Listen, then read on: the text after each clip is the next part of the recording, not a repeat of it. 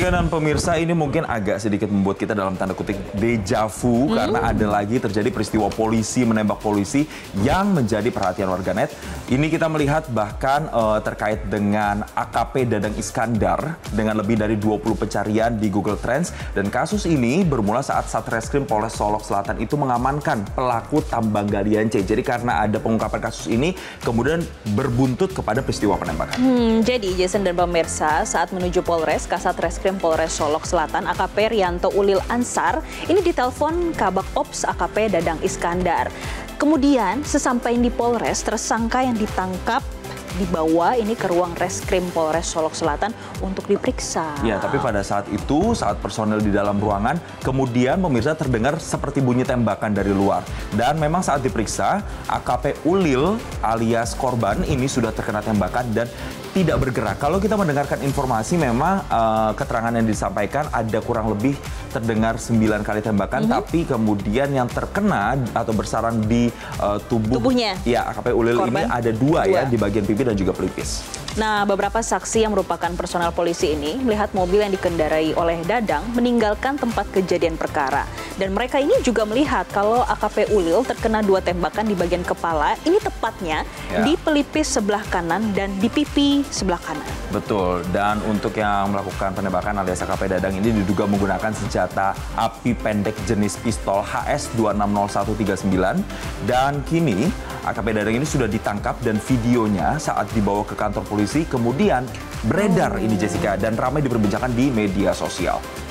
Oke, sementara itu pemirsa, jenazah AKP Ulil ini sudah dibawa dan tiba di Makassar pada Sabtu dini hari tadi, yang rencananya jenazah akan dimakamkan pada hari ini. Mm -hmm. Dan kasus ini sendiri memang langsung disoroti oleh Kapolri Jenderal Listio Sigit Prabowo atau Kapolri yang memerintahkan Kapolda Sumatera Barat untuk kemudian bisa mendalami motif, melakukan uh, pengungkapan apa sebenarnya motif dari penembakan dan hal-hal yang terkait dengan penembakan ini, dan yang pastinya mengambil tindakan tegas. Hmm, kita dengarkan bersama keterangan dari Kapolri berikut ini. Yang jelas Pak Kapolda sudah melaporkan kepada saya terkait peristiwa yang terjadi dan saya minta untuk mendalami motifnya. Namun yang jelas saya sudah perintahkan agar kasus itu diproses tuntas terhadap pelakunya, oknum, pelaku dari institusi agar ditindak tegas apakah itu proses etik maupun pidananya. Apalagi kalau kemudian motifnya kemudian ternyata dilakukan terhadap hal-hal yang selama ini kita anggap mencederai institusi. Saya minta siapa pun, apa pun pangkatnya, tindak tegas, nggak usah ragu-ragu. Pak, ya. tapi kalau evaluasi dari Pak Kapolri sendiri untuk penyelesaian konflik internal di dalam institusi Polri sebaiknya seperti apa? Saya kira bukan masalah konflik internal ya. Uh, proses sedang didalami, propam sedang kita turunkan. Yang jelas kalau hal-hal yang sifatnya bisa diproses dengan hal-hal yang bersifat etik, ini secara umum ya, tentunya itu akan kita lakukan sehingga kemudian uh, semuanya bisa berjalan dengan baik. Namun terhadap pelanggaran yang tidak bisa ditolerir, saya, saya minta hanya dua tindak tegas. Ya. Sementara itu Kapolda Sumbar Irjen Pol Suharyono mengapresiasi pengabdian AKP Ulil yang berintegritas dengan melakukan penegakan hukum, sedangkan tindakan Dadang yang dinilai sangat tercela. Ya, kita juga akan sama-sama mendengarkan statement yang disampaikan oleh Kapolda Sumatera Barat berikut ini tanpa diduga sebelumnya bahwa seorang perwira yang juga barangkali salah satu kita anggap sebagai tersangka oknum dari anggota kami juga pada posisi kontra terhadap penegakan hukum. Ini sesuatu yang tidak kami duga, karena pada awalnya penegakan hukum ini sudah kami apresiasi, bahkan terhadap eh, AKP Ulil ini sudah kami berikan penghargaan. Saya bertemu lagi dan memberikan apresiasi kepada yang bersangkutan atas prestasi penegakan hukum terhadap uh, tambang terutama galian C yang ada di Solo Selatan yang diduga ilegal. Di saat penegakan hukum tadi malam ada peristiwa yang seperti saya sampaikan tidak terduga sebelumnya. Bahkan mungkin dari anggota penegak hukum sendiri, yaitu AKP Ulin dan kawan-kawan. Yaitu salah satu perwira polisi yang jabatannya adalah Kabak Op itu melakukan perbuatan yang sangat tidak terpuji dan sangat tercela. Ya, Jessica dan juga pemirsa tentunya hal ini atau peristiwa ini juga disoroti oleh DPR, tepatnya atau khususnya Ketua Komisi 3 DPR RI Habibur Rahman yang turut berkomentar atas kasus ini salah satunya karena uh, AKP Dadang ini tidak diborgol hmm. bahkan terlihat merokok saat dilakukan pemeriksaan. Jadi pemirsa, Habibur Rahman ini mempertanyakan SOP dari Propam. Selain itu, Habibur Rahman juga meminta kasus polisi tembak polisi untuk diusut tuntas, baik pidana maupun disiplin kedinasan. Betul, dan Habibur Rahman ini sendiri juga menduga bahwa memang ada dugaan pembunuhan berencana. Seperti apa keterangan yang disampaikan berikut kita simak bersama.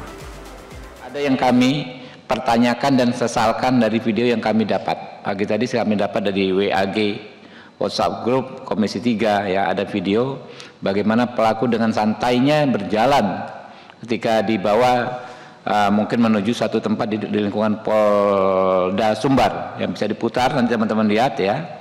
Nah, saya kasih dia berjalan tanpa dikawal apa namanya tanpa diborgol. Begitu di di dalam ruangan terlihat sepertinya dia merokok dan menggunakan jaket tidak pakai apa namanya rompi tahanan tidak diborgol. Ini propamnya bagaimana bekerja di sana? Standarnya seperti apa? Ini peristiwa yang sangat serius. Membunuh orang dengan latar belakang uh, dugaan dia membackingi tambang ilegal.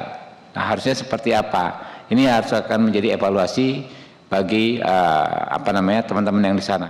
Kami ingin hukum ditegakkan ya agar ditindak tegas, dimintai pertanggungjawaban hukum baik dalam konteks pidana maupun dalam konteks uh, disiplin dan kedinasan ya. Ada dua masalah hukum di sini. Kami adalah yang pertama kasus penembakannya sendiri.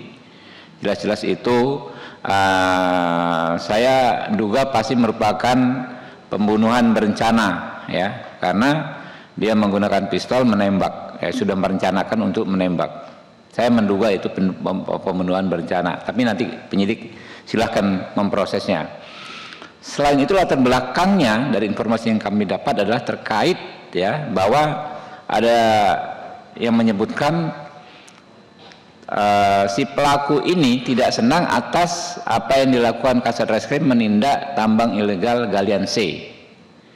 Nah, jadi uh, dipertanyakan apakah pelaku ini membakingi tambang ilegal sehingga ketika tambang ilegal tersebut ditindak beliau orang ini marah ya Nah ini juga harus diusut tuntas. Dua hal, karena itu kami Komisi 3 DPR RI hari Senin yang akan datang akan ke Sumatera Barat. Pemirsa Isak tangis keluarga AKP Ulil pecah saat menyambut kedatangan jenazah di rumah duka kota Makassar, Sulawesi Selatan. Almarhum tewas tragis setelah ditembak rekan sejawatnya di halaman Polres. Ya pemirsa, almarhum ini merupakan alumnus Akpol tahun 2012 dan memang dikenal sebagai sosok yang baik dan taat beragama. Cerita lain juga datang dari paman AKP Ulil, Daniel Ferry, yang mengungkapkan bahwa AKP Ulil ini sempat memohon doa pada ibunya karena tugasnya di kepolisian ini diakuinya berat begitu Jessica untuk dijalani. Namun ibunya menyemangati AKP Ulil agar tetap bertahan. Selain itu, AKP Ulil disebut berencana akan menikah. Bahkan pasangan AKP Ulil datang ke rumah duka di Makassar. Waktu bulan lalu datang, menurut mamanya dia mohon doanya untuk karena tugasnya dia berat. Oh berat Berat dia bilang. Saya tidak disampaikan. Tidak, dia cuma membantu itu juga dekat dengan keluarga lain bahwa doakan saya.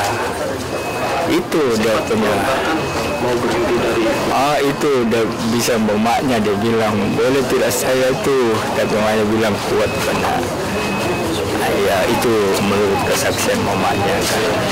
Almarhum ini masih lajang atau seperti Iya masih lajang. Rencana mau menikah juga atau bagaimana Pak? Ya begitulah. Rencana ya, kita belum tahu tapi kan mungkin ada yang berencana. Nah, ada yang datang ya calonnya dari jauh. Jelajahi cara baru mendapatkan informasi. Download Metro TV Extend sekarang.